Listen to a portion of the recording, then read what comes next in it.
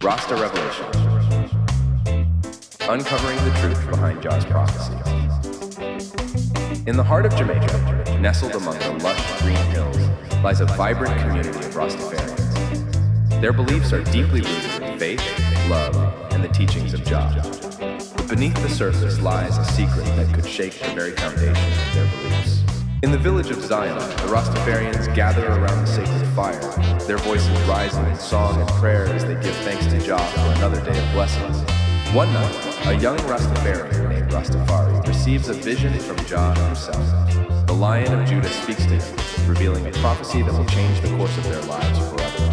Rastafari travels far and wide, seeking answers to Jah's prophecies. Along the way, he encounters wise elders who share their knowledge and wisdom, guiding him on. In his quest for truth, Rastafari delves into ancient texts and scrolls, uncovering long forgotten secrets hidden within their pages. With each discovery, he gets closer to unraveling the mystery of Jah's prophecy.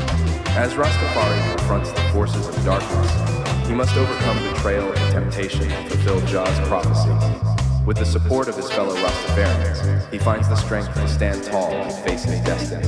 With Jah's prophecy finally revealed, Rastafari returns to the village of Zion, where he shares his revelations with his fellow Rastafarians. Together, they embrace the truth and unite as one community, ready to face whatever challenges lie ahead.